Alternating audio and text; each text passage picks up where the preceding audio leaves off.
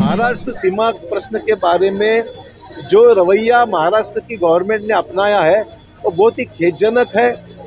कर्नाटक की विधानसभा में वहाँ पर रेजोल्यूशन पास किया जाता है। कर्नाटक मांगती है कि महाराष्ट्र के कोई ज़िले उनके पास लेने के बारे में बात करती है। कर्नाटक के मुख्यमंत्री वहाँ पर ट्विटर हैंडल पर महाराष्ट्र के बारे में अनाप शनाप चीज़ें कहते हैं बोलते हैं और हम यहाँ पर महाराष्ट्र की सरकार चुप बैठी हुई है उल्टा उनको समर्थन करते कि उनका ट्विटर हैंडल शायद फेक है या गलत ट्विटर हैंडल का इस्तेमाल कोई कर रहा है ये बातें ठीक नहीं है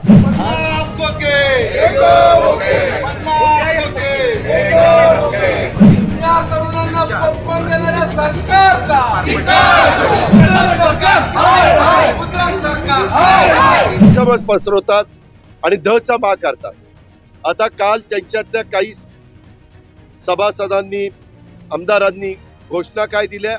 एयू एयू म्हणजे कोण? त्याच्या संदर्भामध्ये अनन्य उदास असं स्पष्टपणे दिशानी सांगितलेलं आहे. रियानी सॉरी रिया चक्रवर्तीने सांगितलेलं मा- मा- मला माफ करा.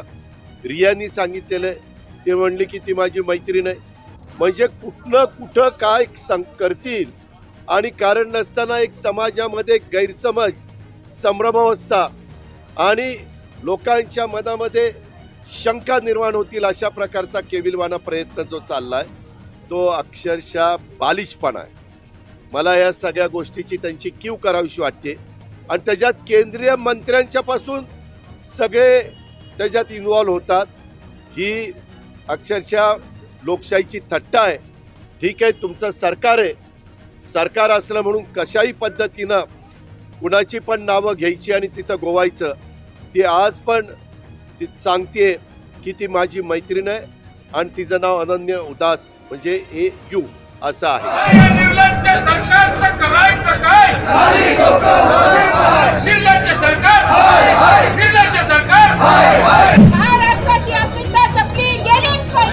या बाजूला उचलेले आमचे बंधुतुल्य सहकारी आदित्य ठाकरे यांच्यावरती एस आय टी बसवायची दर आठ दिवसांनी त्यांना बोलवायचं. मग तुम्ही जाणार टी व्हीवर दिसणार. आणि या बत्तीस वर्षाच्या तरुणाला हे सरकार किती घाबरलंय हे महाराष्ट्र बघणार. महाराष्ट्राला याची कल्पना आहे की याच्यात कुठलंही सत्य नाही. सत्य असतं तर एवढे दिवस याला सोडलाच नसता. पण उगाच भाऊ करायचा. आणि सगळ्या भ्रष्टाचार ह्याच्या एयूच्या मागे लपवायचे.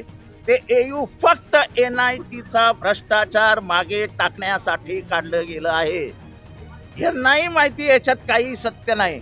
आणि आदित्य ठाकरे माझ्या माझं जे मत दिसतंय कालपासून यांचं वागणं आहे हे अजिबात असल्या गोष्टींना घाबरत नाही. आणि आमचा एकही राष्ट्रवादी शिवसेना काँग्रेस एकही कार्यकर्ता अटकेला घाबरत नाही. ज्यांना अटक करायची करा पण तुमच्या भ्रष्टाचारावर आम्ही पांघरून घालू देणार नाही.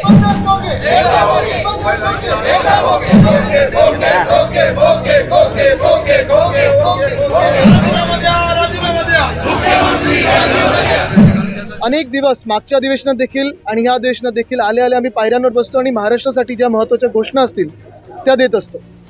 आज मला वाटतं जागतिक शेतकरी दिवस देखील आहे कृषी दिवस देखील आहे.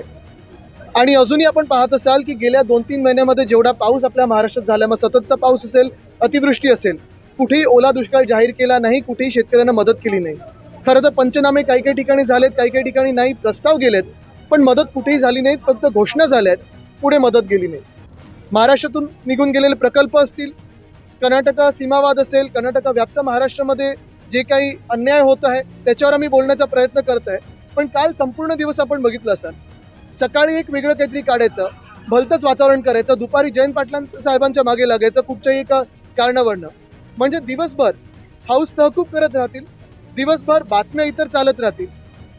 पण मुख्यमंत्र्यांनी जो घोटाळा केलेला आहे या घटनाबाह्य मुख्यमंत्र्यांनी जो घोटाळा केलेला आहे जे गैरवर्तन आहे त्यांचं इरेग्युलॅरिटी आहे ती कुठेही लोकांमध्ये येऊ नाही हाऊसच्या फ्लोअरवर येऊ नाही रेकॉर्डवर येऊ नाही हा त्यांचा प्रयत्न होता.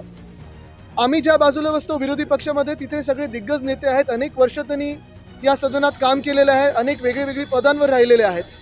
आम्ही सगळे इथे शांत बसलेलो. आम्हाला आमच्या नेत्यांनी सांगितलेलं शांत बसा आणि ऐकत बघा बघत राहा. कारण समोरून जे काही वागणूक होती ही लोकशाहीसाठी योग्य नाही. लोकशाही संपवण्याची वागणूक होती. सगळं जे काही चाललेलं हे एकतर्फी चाललेलं. मग प्रिसाइडिंग ऑफिसर असतील सरकार असेल आमच्याकडे लक्ष न देता हाऊस चालवायचा तहकूब करायचं कधीही सत्ताधारी पक्षाला मी वेलमध्ये येताना बघितलं नाही आहे हाऊस बंदच पाडताना बघितलं नाही आहे पण एकंदर हेतू हाच होता त्यांचा की जे काही सत्य आम्ही इथे आवाज त्यांना देण्याचा प्रयत्न करतोय सत्याला पुढे आणण्याचा प्रयत्न करतोय. सत्यमेव जयतेच्या बाजूने उभं राहण्याचा प्रयत्न करतोय. त्यांची बाजू ही सत्तामेव जयतीची आहे आणि ती कधीच जिंकणार नाही. जिंकणार ते सत्यमेव जयतेच जिंकणार आणि त्या बाजूने आम्ही आहोत. आज आम्ही सगळे इथे पायऱ्यांवर जसं आहोत तसं रस्त्यांवर देखील प्रत्येक ठिकाणी राहणार आहोत. कारण महत्वाची गोष्ट हीच आहे की आमचा आवाज दाबण्याचा जरी प्रयत्न केला तरी हा महाराष्ट्र आम्ही विकू देणार नाही महाराष्ट्रातले भूखंड आम्ही विकू देणार नाही कर्नाटकाला दबणार नाही. खरं तर हा वाद हा सुप्रीम कोर्टात चालू आहे. आपल्याच देशात दोन राज्यांनी असं भांडणं हे योग्य गोष्ट नाही कारण वाद हा तिकडच्या लोकांमध्ये वाढत जातो. लोकांना त्रास होतो सामान्य नागरिकाला त्रास होतो. हा वाद जे सुप्रीम कोर्टमध्ये तिथे चालू देण्याची ही खरं गरज होती अनेक वर्ष हा वाद चालू आहे पण कदाचित तिकडच्या सत्ताधारी पक्षाला म्हणजे कर्नाटकाच्या सत्ताधारी पक्षाला येणारी निवडणूक ही जड जाणारे हे दिसायला लागलेलं आहे. काँग्रेसचं सरकार येणार हे दिसायला लागलेलं आहे. आणि म्हणूनच तिकडच्या मुख्यमंत्र्यांनी ही अग्रेसिव्ह भूमिका घेतलेली आहे. असो हे जरी सत्य असलं म्हणजे गुजरातच्या निवडणुकीसाठी प्रकल्प पळवले कर्नाटकाच्या निवडणुकीसाठी आमचे जिल्हे तोडून न्याल आणि इथे तुम्ही आमचेच भूखंड हे इतर बिल्डरांना विकाल हे आम्ही चालू देणार नाही आणि म्हणून ही लढाई आम्ही लढत राहू कारण आम्ही सत्याच्या बाजूने आहोत सत्तेच्या बाजूने नाही. दिल्लीचे मिंदे! अरे दिल्लीचे मिंदे! दिल्लीचे मिंदे! ईडीचे मिंदे! मला एक महत्वाची बातमी तुमच्या कानावर घालायची आहे. की काल ठाण्यामध्ये आंदोलन झालं आणि दिल्लीचे मिंदे एकनाथ शिंदे अशा घोषणा देण्यात आल्या. त्या घोषणांवरती आठ पोलीस स्टेशनमध्ये गुन्हे रजिस्टर झालेत आठ पोलीस स्टेशनमध्ये आता हे गुन्हे आमच्या माहितीप्रमाणे मुंबईतनं आणि मुख्यमंत्री कार्यालयातनं कमिशनरला फोन केल्यानंतर त्या त्या पोलीस स्टेशनला गुन्हे रजिस्टर करण्यात आले. आमच्या असं कानावर आलंय आमचेही गुप्त मित्र आहेतच ना पोलिसांमध्ये की त्यांना अटक करण्याचा संभव आहे. मी आज या सरकारला सांगू इच्छितो की आम्ही गांधींची मूल्य मानणारी माणसं आहोत. हे अटक अटक चटक चवळी चटक यांना काय आम्ही घाबरत नाही. या फासावर तर लटकवणार नाही ना तुम्ही?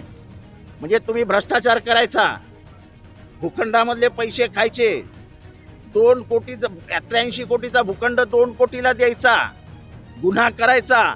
हायकोर्टात सांगायचं हो माझी चूक झाली. आणि परत any crime done by mistake is not innocence हा कॉमन लॉ पॉइंट आहे any crime done by mistake is not innocence मला सांगितलंच गेलं नाही असं मुख्यमंत्री कधी म्हणूच शकत नाही. तेव्हा तुम्ही भ्रष्टाचार केलेला आहे आम्ही त्याच्याविरुद्ध बोलणार. आनंद परांजेपे आजही ऑफिसमध्ये आहे. तुम्ही त्याला अटक करा. महाराष्ट्राच्या जनतेला कळेल.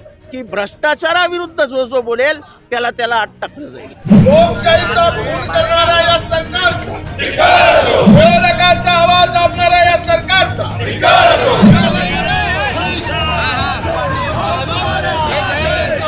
कल जयंत पाटिल जैसे एक ज्येष्ठ हमारे सदस्य को निलंबित किया जाता है। बहुत ही मतलब गलत कारण इसके उनका निलंबन किया जाता है। तो मैं समझता हूँ ये अपोजिशन की आवाज़ दबाने का प्रयास है। ये निश्चित गलत है, निषेधार्य है, और हम समझते हैं कि इसके बारे में आज हम लोगों ने तय किया है कि सभागृह में जाएँगे नहीं, वहाँ बोलना ही नहीं देते हैं। निष्पक्ष होकर जो बातें वहाँ होनी चाहिए, वो सरकार की ओर से दबाई जाती है। ऐसे सभागृह में जाके मतलब क्या है? इसीलिए हम सबने फैसला किया है कि सभागृह के बाहर हम रहकर उसका निषेध व्यक्त करें सीमा प्रश्नी भूमिका घ्या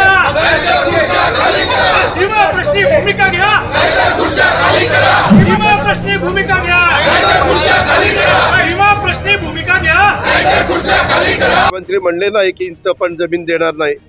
सुप्रीम कोर्टाचा निकाल आमच्या बाजूने लागू द्या. एक इंच देखील जमीन तुमच्या भागात ठेवून देणार नाही. हा पण माझा त्यांना इशारा आहे. लक्षात ठेवा.